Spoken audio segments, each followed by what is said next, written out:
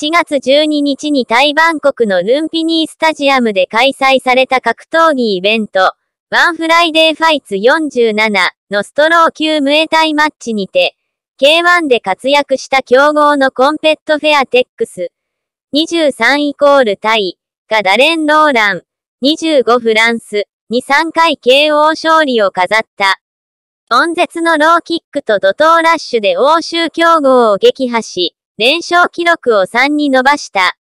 コンペットは22歳にしてムエタイの二大殿堂の一つ、ルンピニースタジアムでの2階級制覇をはじめ、6冠を持つ、天才、ムエタイ選手。K1 にも参戦しており、久村正史や金子明宏と激闘を繰り広げた。バンルンピニー大会には昨年1月から参戦し、現ワンストロー級ムエタイ世界王者のプラジャンチャイ、PK 戦チャイに判定負けしたものの、その後は2連勝と波に乗っている。対するローランは WBC ムエタイ世界王者。19年10月のワン日本大会でサム・エーガイアン・ハーダオに挑むもけ大負けした。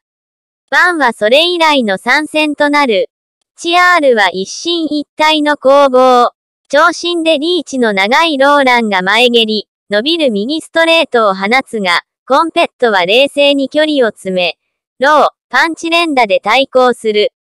ER、圧力を強めたコンペットが右ローを連発。